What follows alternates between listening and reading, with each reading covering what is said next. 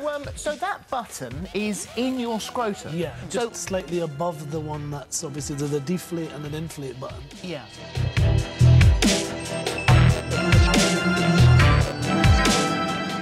Probably aim for an orgasm per client.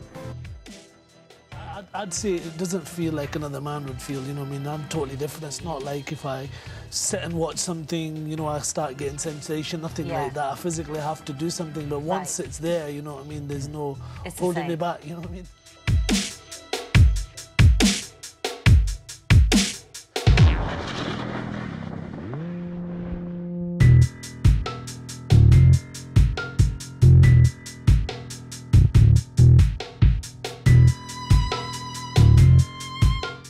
I had to keep it, it was erect for two weeks.